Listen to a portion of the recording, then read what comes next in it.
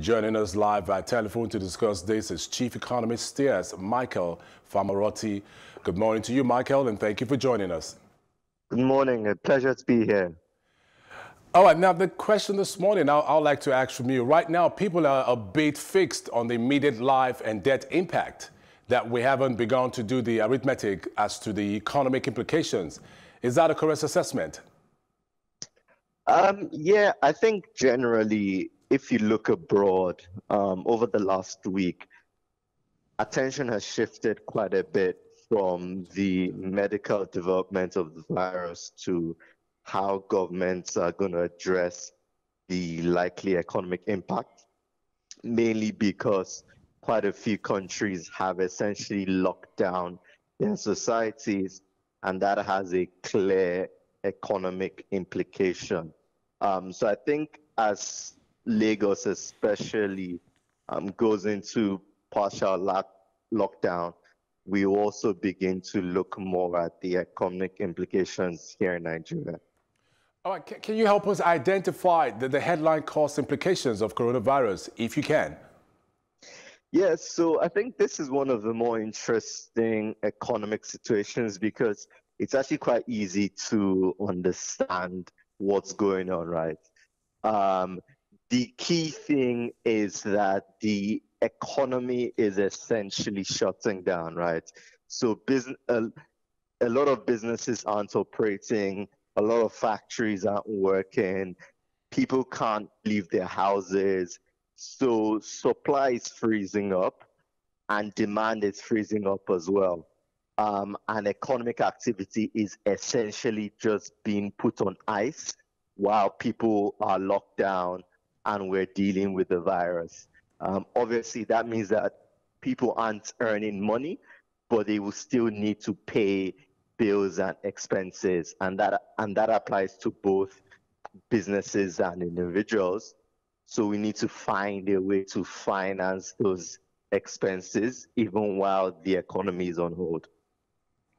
All right, now we read about the shutdown of Chicago and are told that the GDP of Chicago is equivalent to that of the entire UK and Chicago is one of the financial epicenters of the US. What are the possible cost implications for shutdown of cities?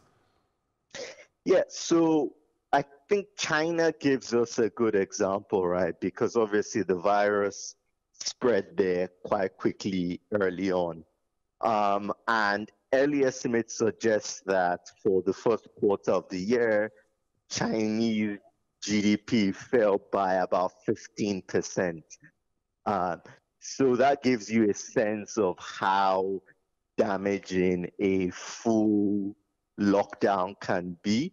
So it'll be interesting to see how exactly um, Chicago and other places like Italy, um, the UK are affected. Um, but generally, the numbers can be quite bad, and that's why we're seeing quite serious responses from governments all over the world. Are, are there any plans being put in place to stave off an avalanche of cost implications? Well, so generally across the world, yes. Okay. Um, the headline news is that different governments are responding differently depending on their financial ability to respond, right? So you look at countries like Canada and Australia, and they're willing to spend somewhere close to 5 to 10% of their GDP just to keep the economic damage minimal while you see countries in Africa who have much less fiscal room, um, and there is much less being done by the government simply because they don't have as much money to respond. Right. Let, us come back home to Nigeria and, and looking at our peculiar situation in the country and especially in Lagos. What, what considerations should be had at this point towards securing our financial future? So, unfortunately, Nigeria is in a bit of a bind. Um, even on a normal day, the government's finances were not particularly good. Now that oil prices have crashed, we can expect quite a big hole in the government finances. So the government doesn't have much money to spend. At the same time, though, uh, like I mentioned, if you let this thing go without attacking it, then the economy can freeze up quite a lot. Okay. A lot of people lose their jobs, a lot of businesses shut down, um, and the damage is quite large. So the government needs to step out and do something. So far, it's relied mainly on the central bank to set up a lot of funds and credit lines for businesses and people affected. But the reality is that giving people loans is much less effective in this situation than things like direct transfers, salary guarantees, and so on that we've seen in other countries. Can, can you highlight for us the, the particular link with the oil price and our national budget, if you may? Yeah, so as we know, oil is our biggest export earning. Generally, over the last five years or so, oil has accounted for between 40 and 60% of federal government earnings. So when oil prices fall from about $60 to $30, the amount of money that the government is earning is much less. Um, estimates suggest that the government will be earning something less than um, 100 to 200 billion naira less each month. Now, there's a, there's a prediction, many are already predicting uh, the possibility of a global depression. And I just want to know from you this morning, what, what is the likelihood of this? And is there anything we can do to, to have this compensated for? And in what ways? Yeah, so obviously it's quite difficult to say clearly because things are so early. But again, because like I said, we are seeing global economies shut down, right? We're talking about large cities like New York, Chicago, places like London, China. These are the centers of the global economy. And as they shut down, we can expect economic activity to freeze up. So I am personally also expecting a recession this year. And the question is probably more how bad it will be rather than if it will happen at all. Okay. In terms of how to avoid it, um, I'm doubtful that we can completely stave that off.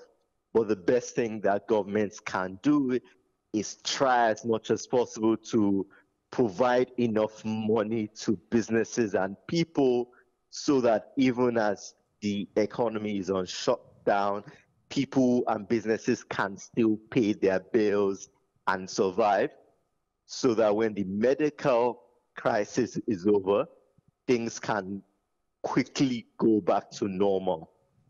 Interesting, you did make mention of the government providing um, some kind of fund support for people. Now, we do hear of stimulus interventions in, in other nations of the world, such as rent and, and tax relief. Is this something that needs to be considered here since the economy is only as strong as the workforce? Yeah, definitely right. So you look at countries like Denmark, for example, they hit their headlines because the government has promised to to guarantee something like 75% of all salary workers. Um, obviously, that's very good because it means that much fewer people will lose their jobs because firms are confident that they can still pay. The unfortunate reality is that Nigeria doesn't have the money to make those type of promises. And what we've seen instead is that in the bill proposed by the House of Representatives, yes. um, what's happening is that the government is telling firms that if they don't sack workers, then they'll get a a tax rebate for the end of the year. The unfortunate thing though is that promising someone that you're going to help them pay their workers is a lot more effective than telling them that if they don't sack their workers at the end of the year, if they make a profit, then they get some of their tax back. All right, Michael, just before we let you go this morning, what, what can the average individual do to protect their investment in, let's say, shares or even in savings? Well, I think the first thing to realize is that dealing with the medical implications is the priority, even to preserving the economy, right? So we've heard a lot of, we've heard quite a bit about social distancing, and that remains the most important thing. We know that the healthcare system here isn't as robust as abroad, so we must ensure that we flatten the curve as much as possible. In terms of preserving your investment, well, the reality is that a lot of equity markets are going to be down for quite a bit, and you would find a lot of people going to safe assets. In Nigeria, that generally means dollars. And of course, that's why the central bank has been quite anxious about trying to preserve dollars. And we saw last week, and uh, so we saw yesterday that it stopped selling dollars to BDC operators, right? So my advice would be for people to find safe assets um, in the form of fixed income instruments and currencies like the dollar um, and possibly even gold, depending on how that market is going um, to tide over this period. All right. Chief Economist Spirit, Michael Famoroti Kolade, thank you very much for joining us and for your contribution. Always a pleasure.